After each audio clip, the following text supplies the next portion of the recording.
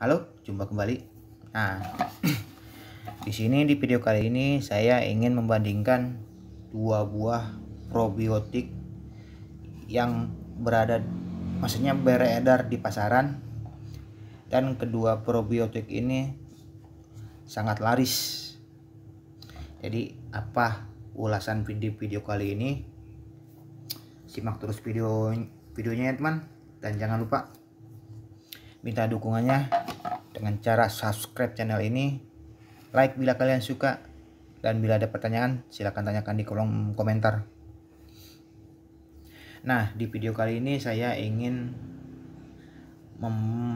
mereview atau mengulas dua buah probiotik yang ada di hadapan kalian ini. Dan perlu di, perlu diketahui juga saya bukan pakar peternakan maupun pakar perikanan saya hanya mengulas secara opini pribadi saja. Karena di hadapan kalian ini ada dua buah probiotik. Kebetulan E4 ini sudah habis dan saya coba menggantinya dengan Probio 7. Ini baru baru baru dipakai sedikit. Nah, di video kali ini kita lanjut ulas ulasannya ya, teman. Nah, di EM4 perikanan ini secara kemasannya dia hanya mengandung dua jenis bakteri yang terkandung di dalam EM4 ini. Sedangkan di Probio 7 sebentar. Dia mengandung 7 bakteri yang ada di dalam kemasannya nah bisa teman baca bisa teman lihat. Ada ada tujuh ya teman. Sedangkan di E4 perikanan ada dua. Dari segi, segi harga ini dulu saya beli harganya 25.000 ya teman. Dan ini Probio 7 ini saya belinya harga 50.000 tentu beda daerah beda toko pasti beda harga. Perlu diingat juga teman. Tapi yang jelas harga satu botol Probio 7 dua kali lipat dari EM4 ini. Wajar mungkin karena kandungan probiotiknya lebih banyak. Mungkin itu yang membuatnya harganya lebih mahal dan kalau untuk E4 perikanan ini bisa dibilang probiotik sejuta umat ya teman. Kenapa? Mungkin karena harganya murah. Dan bisa jadi kalau kita membeli probiotik di setiap toko setiap apalah pasti menawarkan EM4 perikanan. Entah EM4 pertanian entah EM4 perikanan entah EM4 peternakan. Tergantung tujuannya. Dan juga fungsi fungsinya juga teman.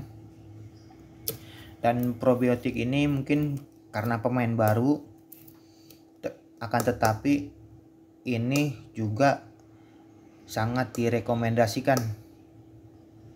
Karena di Probio 7 ini bisa dikatakan lebih apa ya lebih lebih banyak kandungan bakterinya. Jadi ini juga bisa digunakan untuk aplikasi bioflok jadi kata teman saya katanya kalau nggak usah ribet bioflok pakai pro, bio 7 aja. Nah ini. Karena seperti yang teman lihat kandungan probiotiknya bisa dibilang hampir lengkap dan lebih banyak dari EM4 perikanan. Karena karenanya juga EM4 perikanan itu susah untuk membentuk vlog di sistem budidaya bioflok jadi bisa dibilang lebih praktis ini cuma cuma satu yang satu yang pasti harganya lebih lebih mahal ya teman. Jadi ini ini hanya opini pribadi saja. Tidak untuk menjelekkan satu produk dengan satu produk yang lain. Cuma hanya membandingkan saja membandingkan saja teman. Nah ini.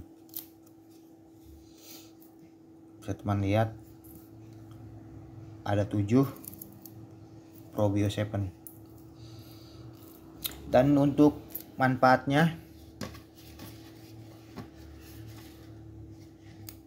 kalau kita baca di E4 perikanan ini sama juga di probio 7 hanya saja dia menambahkan menurunkan amonia, nitrit, H2S, gas toksik lainnya, dan menekan pertumbuhan bakteri Vibrio SP atau patogen.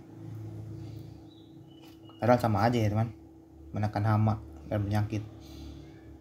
Nah ini. Dan untuk dosis dan cara pemakaiannya, dia sama saja kalau menurut saya cuma di sini dijelaskan di Probio 7 campurkan satu tutup botol. Satu botol ini teman. Dengan setengah liter air plus satu sendok teh gula pasir. Jadi satu tutup botol campur dengan setengah liter air plus satu sendok gula pasir dan di diamkan selama 5-10 menit. Dan setelah didiamkan campurkan larutan tadi dengan pakan 2,5 kilo. Dan didiamkan kembali 5-10 menit. Nah ini aja. Tidak ada yang ini. Cuma hanya pembedanya di antara E4 perikanan dan Probio 7 selain harganya harganya ya teman. Dia kandungan bakterinya juga lebih banyak. Yang menjadi pembedanya jadi itu saja ulasan singkat dari saya.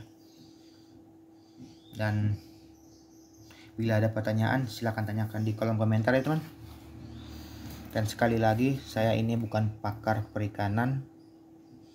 Saya hanya opini pribadi saya mengenai EM4 dan probio 7 yang di mana semuanya ini adalah probiotik yang saya gunakan untuk sistem budidaya ikan nila yang selama ini saya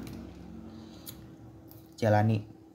Jadi sekian dulu video kali ini. Saya harap kalian suka. Dan bila ada pertanyaan silahkan tanyakan di kolom komentar ya teman. Akhir kata saya pamit dulu. Saya undur diri dulu. Bye